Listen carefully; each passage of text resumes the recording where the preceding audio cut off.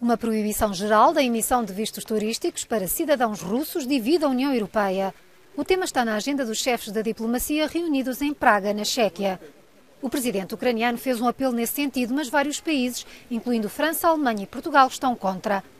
Alegam que é preciso manter laços com os cidadãos russos, sobretudo os dissidentes do regime, os jovens e os artistas, entre outros. Mas noutras regiões da União, nomeadamente no leste, Escandinávia e Báltico, há quem defenda essa nova sanção. Estamos numa altura em que, por exemplo, os homens ucranianos lutam pela liberdade e pela liberdade do seu país, enquanto que os russos podem viajar para os países do sul da Europa para fazerem férias e compras em cidades simpáticas e por aí adiante. Simplesmente isto não está correto e não é justo.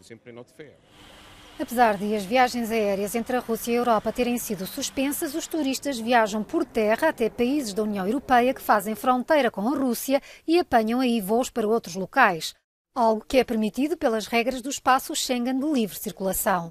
Desde que a guerra começou, quase um milhão de cidadãos russos entraram em países da União Europeia com vistos turísticos.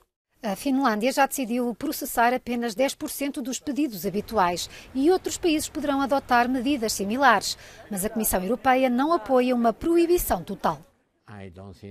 Não creio que cortar as relações com toda a população civil russa vá ajudar. Penso que esta ideia nunca teria a unanimidade necessária no Conselho Europeu. Por outro lado, acho que devemos rever a forma como alguns russos obtêm vistos. Certamente não os devemos conceder aos oligarcas. Temos de ser mais seletivos. Como o tema exigiria um voto por unanimidade, o resultado provável do debate será um acordo político para suspender um protocolo entre a União Europeia e a Rússia, de 2007, que facilita a burocracia dos vistos. O processo deverá tornar-se mais lento e dispendioso para os cidadãos russos.